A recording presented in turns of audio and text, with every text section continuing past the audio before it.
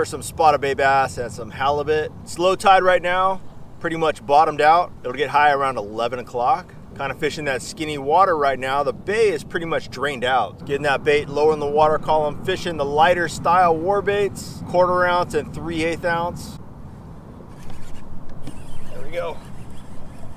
Picked one up there.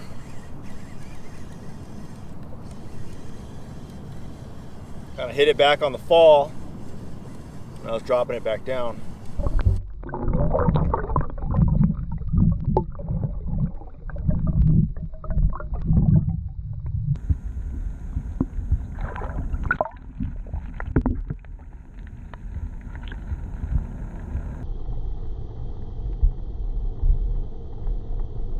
Put up a good fight. Throwing that double rig right now. Well, that was easy out. yeah, nice fish. Great to get one and get it started. And I'm throwing these Badfish saltwater swim baits. Something different, something different.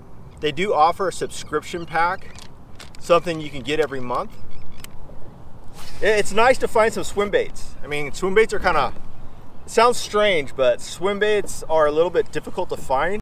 I guess unique swim baits are difficult to find. It's good to see a company making some unique colors, and that just gives me a little bit more confidence. You know, it's, it's something I haven't seen, and it's something the fish hasn't seen. There we go. Picked it up on the drop, off the cast. Saw it falling. Saw it falling from the surface. Another little guy. Hitting the same, hit the same bait. It's the heavier bait, the three three eighth ounce. There it is. little fat belly for a small guy. Good to see they're feeding on something. There it is, throwing that double rig. Little three and a half inch, four inch swim bait with the quarter ounce and a 3 8 ounce head. Keeps them separated. There we go. Saw the line jam out on that one. Feels like another small one. It's all good. At least we're catching them. Another small one, but we're getting bit, so that's a plus. There we go.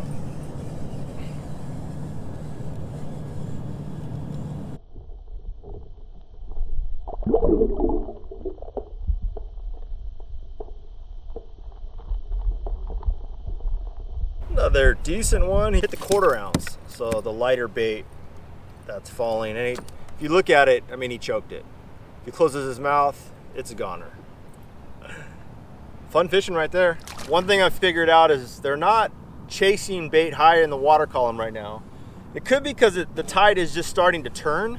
So the tide is just starting to move. So they might be kind of hunkered down in the eelgrass, not, not willing to come out and swim around right now.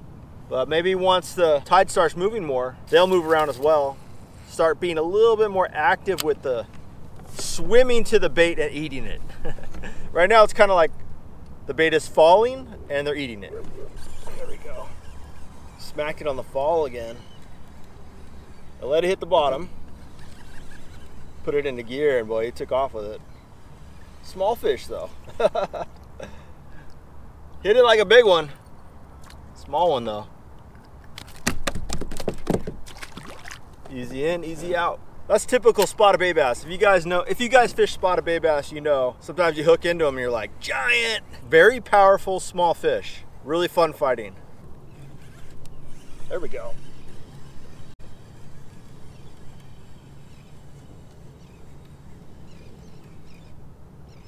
Fight back a little bit.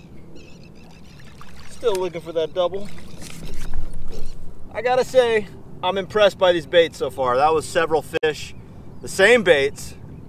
So they are showing to be tough, spotted bay bass tough. You guys know spotties, they can rip through your whole bag of plastics pretty quickly.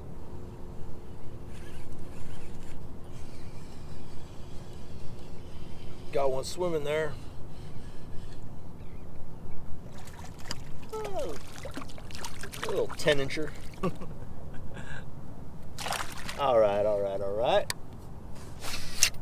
Oh my God.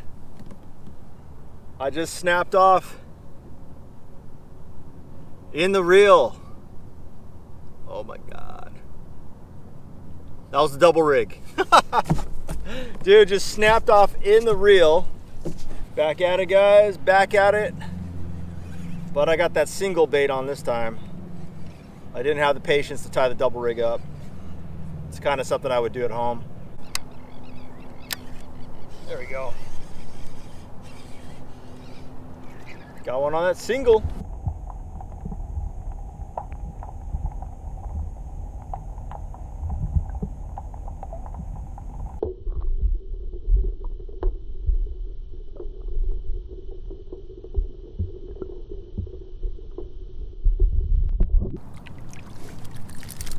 All right, got one on the single rig, standard standard rig, underspin.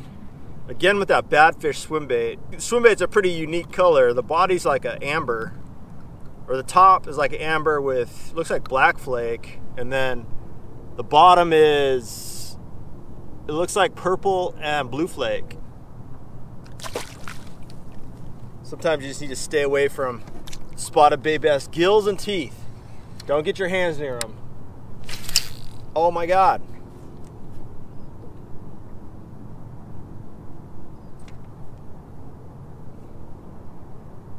Snapped off. Snapped off in the spool again. Oh man. Okay, you know what I'm gonna do? I'm gonna hang this rod up. I don't wanna mess with it anymore. Let's find something else to fish. There we go. Feels like a decent bite on the swim jig.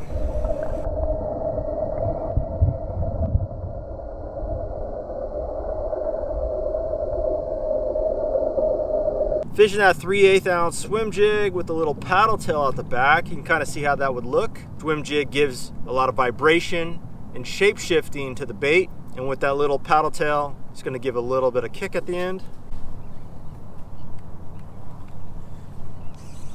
There we go. Dude, rocked him that time.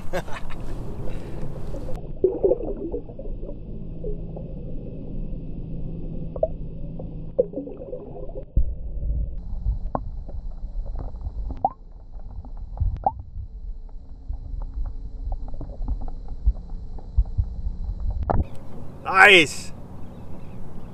Good to get another one on the swim jig. They seem to be located more on the bottom. They're not really swimming up in that water column. They want that bait kind of glued to that grass right now. So we're gonna keep with that. There we go. All right, all right, all right. Another swim jig bite. Hammering it, dude. It's popping it off the bottom there. I like it. I like it. I like it. yeah, that's pretty cool. That is pretty cool.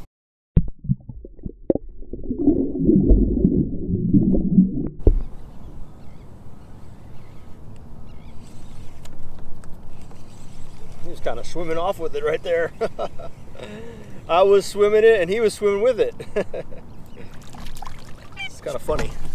Got him.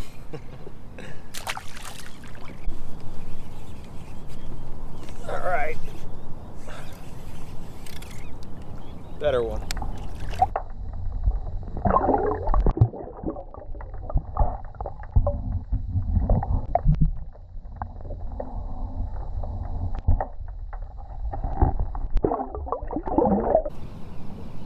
Better one on that swim jig. Just cruising with the wind here on a little drift. Working that jig on the bottom. Low and slow. Good to get another one.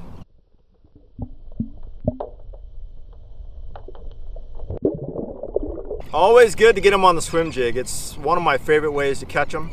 They seem to stomp it pretty good, and they typically seem to be a little bit on the bigger side. And this is that Badfish plastic still hanging in there. There we go.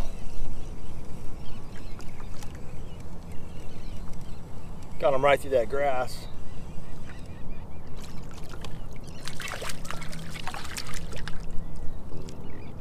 Go the plastic. there we go. I was just saying I want to connect. Finally connected. Woo, nicer one.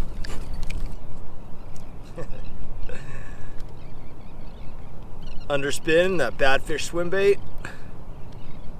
Sweet, get them in.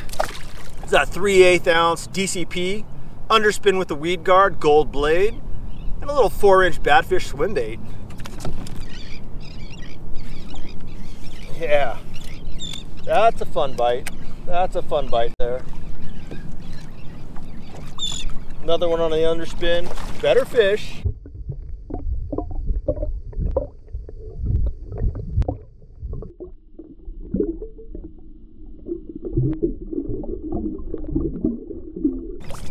Yeah, better fish for sure.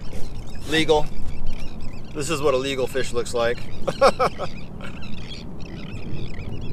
That's a nice one right there. Nice bass. Choked it down. yeah, solid bay bass. That's a good one. That's a good one right there. Legal for sure. Nice bass.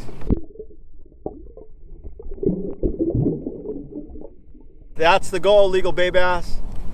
Good to get one. Put up a good fight. Hit real close to the boat too.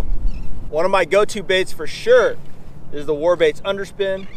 I like fishing that 3 8 ounce, gold or silver blade. I like either one. And a four inch round bodied swim bait. That's like a key to getting bit out here.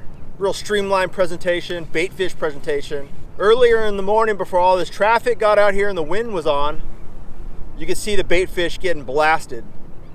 So you know there's a lot of fin bait in the water. Those spotties and other predators are taking advantage of those fin bait. There we go. Hit it on the run there. You just putting up a little resistance.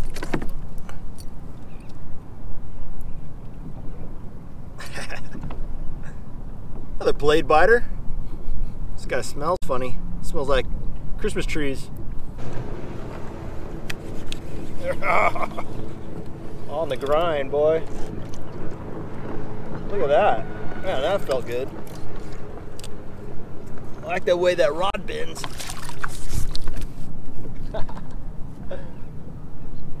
Saw a little bay bass. Good to get another one. Ripping it, dude. Ripping on them. All right, guys, I gotta call it there. It's getting a little too wild out there right now, and I got every sailboat, jet skier, and water skier crossing my lines. but I did catch a good amount of fish. Got that one legal, so that was nice. I was able to run a variety of different Warbaits. I fished that double rig with a quarter ounce Warbaits underspin and a 3 8 ounce Warbaits underspin. I paired that up with the Badfish 4 inch swim bait. I then switched up to a single Warbaits underspin, again with that Badfish swim bait. The bass seemed to be focused on the bottom, so I ended up fishing that 3 8 ounce Warbaits swim jig through the eelgrass and successfully hooked a few bass. Very durable, great colors, and I'm happy with those baits overall. I want to thank you guys for all the support you're giving Warbaits and this channel. We are growing and it's because of you. The online store is busy daily and we're proud to be able to get these baits out to you direct. If you have any questions or comments, leave them in the comment section below and we'll respond to those. And as always, get out there, go fishing, hook that giant.